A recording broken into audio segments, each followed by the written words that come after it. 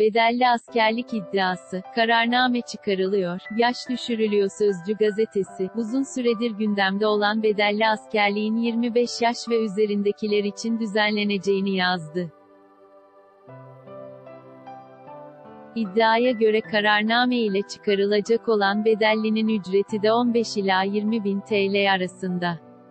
Sözcüden Veli Toprağ'ın haberine göre, daha önce 27 olarak düşünülen yaş sınırı 25'e çekiliyor. Bu doğrultuda kararnamenin de hazırlandığı ifade edildi.